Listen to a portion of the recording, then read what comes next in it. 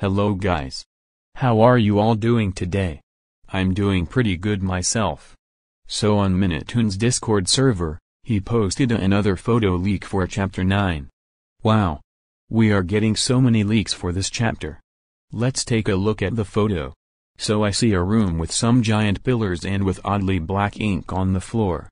I have no idea what that black ink is for but it is maybe something bad. Nothing else. About this photo it's just a room that looks pretty good. But there's one thing I would like to point out about this photo. We can see something yellow and if you zoom into it, it is a candle. And what else did we need candles for in Piggy? To summon Mr. Stitchy. The insolence will for sure have some parts of this chapter.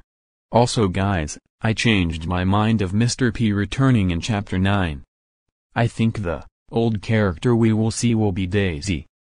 It's pretty obvious that it is going to be Daisy because it is confirmed that she is in the military base up north so we will be meeting up with her in the next chapter. But anyway, the insolence definitely will have some parts of the story.